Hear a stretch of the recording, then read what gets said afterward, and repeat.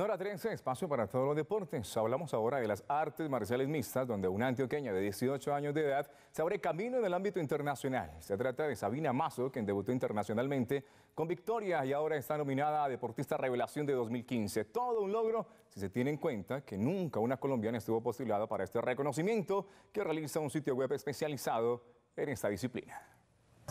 Con apenas 18 años, la antioqueña Sabina Mazo ya está nominada por el sitio web de artes marciales mixtas Oweg Night Fighter a peleadora revelación de 2015. Soy como la primera colombiana entre todos los peleadores y no espero ser la única tampoco pues.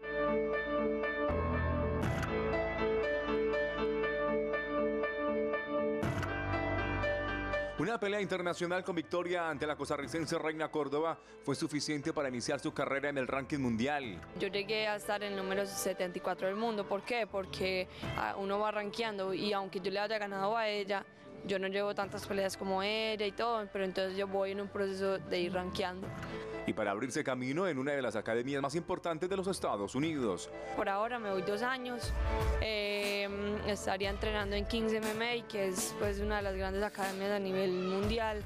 De hecho, el entrenador Rafael Cordeiro eh, ya ha ganado pues premios del mejor maestro pues de, de las artes marciales. Todo pensado en dar golpes más contundentes para 2016. Con eso pues podemos llegar a México más o menos en marzo, peleando pues con la número uno de, de México y la tres de Centroamérica. Sabina es una de las pocas mujeres que tienen la valentía de practicar las artes marciales mixtas en Colombia y cada vez siente más cerca la posibilidad de llegar a la élite de esta disciplina en el mundo de la UFC.